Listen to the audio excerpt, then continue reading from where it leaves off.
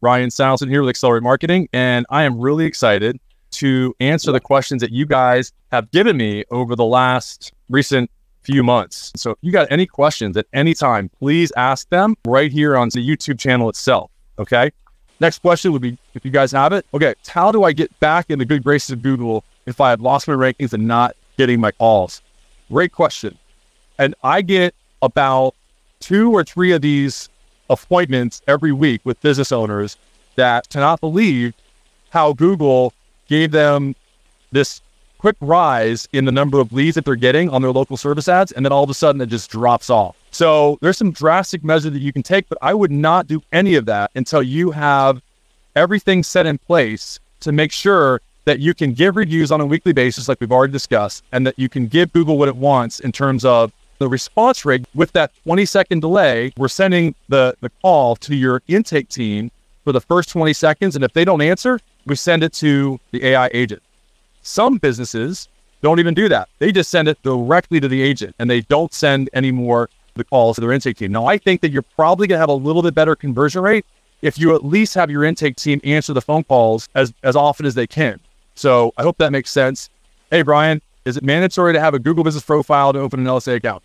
So great question. And I would say for, for optimization purposes that it is mandatory. Here's the reason why because it makes it so much easier for you guys to get reviews. Because when you connect your Google Business Profile page to your local service ads page, it's much easier to get the reviews on your Google Business Profile page and then have them transfer to your local service ads page than the other way around. It's very difficult to get a verified review on the local service ads platform. So when we take on people, it, we almost make it mandatory that the business owner has a Google Business Profile page that is connected with a local service ads account. So I hope that answers your question.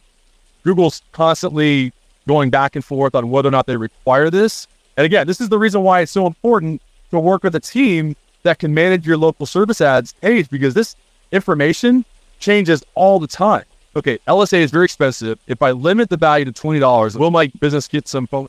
It depends.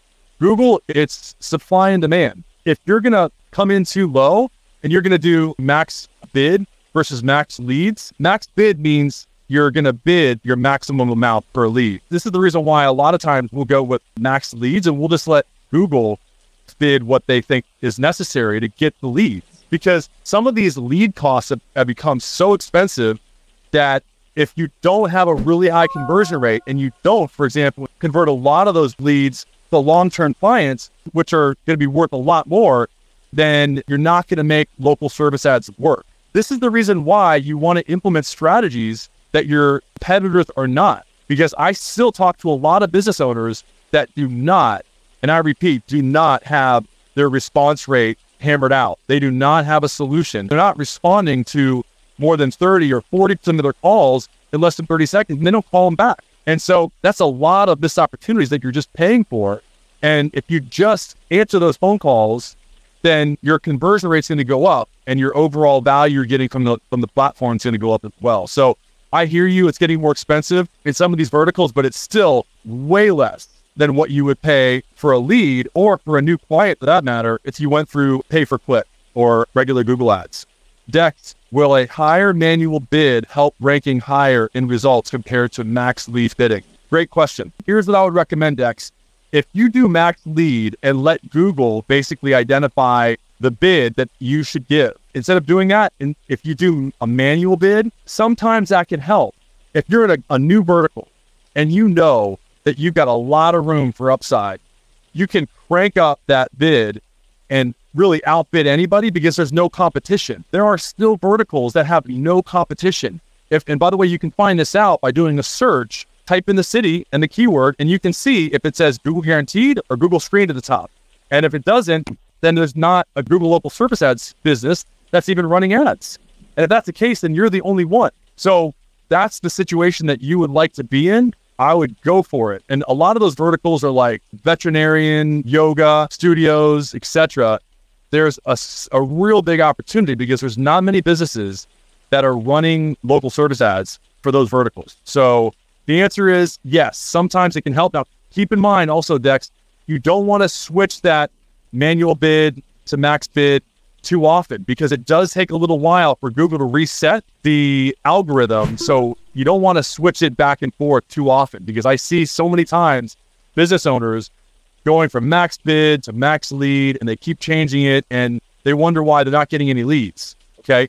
And this is why it typically takes about three to five days for Google to start sending you leads anytime that you change it. Okay. Anytime that you change the, the bidding. I hope that helps. Okay, Carlo, how necessary is AI tech to businesses? Is a good question. So AI tech is important. I would say that the easiest entry point for you to start leveraging AI as a business that has the most impact is through conversational AI, meaning using AI to do customer support and to answer inbound leads that you have, both voice and messaging, and also responding to your emails. I mean, you can actually create an AI bot or an agent of yourself to answer any questions for people. So I would say start by doing that. Start by having all of your messages, all of your phone calls, all of your emails responded to by AI.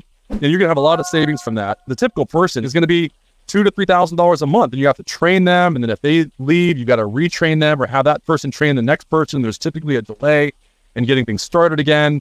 So I mean, this you'll never have any downtime. You can go 24 7, and then the sky's the limit. Right now, whether you use us or anybody else, what I would encourage you to do is to make sure that your agent is specific to your vertical so that you get as much value out of it as you possibly can. And so that it has the knowledge base of your business. Okay.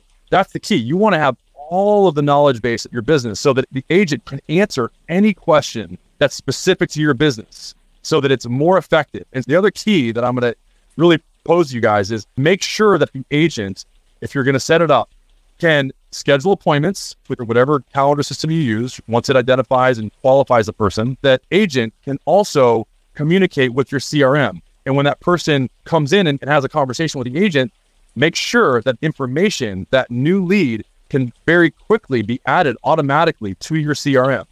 Okay that integration is really, really important. A lot of businesses use Go level. they use a bunch of different CRMs, and you want to make sure that whatever agent you use, that that prospect's information can be transferred immediately to that CRM. So, great question, Carlo. Okay, Angel Lopez, how much would it cost to have you do an audit for us? Like an audit to identify whether we should open up our next GLSA location with the least amount of competition. Okay, we don't charge anything to do an audit like that we we can't share the actual document that Google sends us as a partner level agency with Google Local Service Ads, but we can definitely tell you the locations that you might want to look at opening up a new location Under NDA, we cannot obviously share the document itself, but this is the kind of information that we get as Google Local Service Ads partners. You know, it really does help our agency clients that we work with. It helps them to get better results and to save you a lot of time, energy, and effort. Um, because what that list looks at is it looks at the locations that have the most searches for your particular keyword for your vertical and the least amount of competitors. It combines those two very important variables and it looks at all the cities in the US and it says, okay, where are the top cities that have the least competitors and the most searches or the most leads, potential leads. So I hope that makes sense.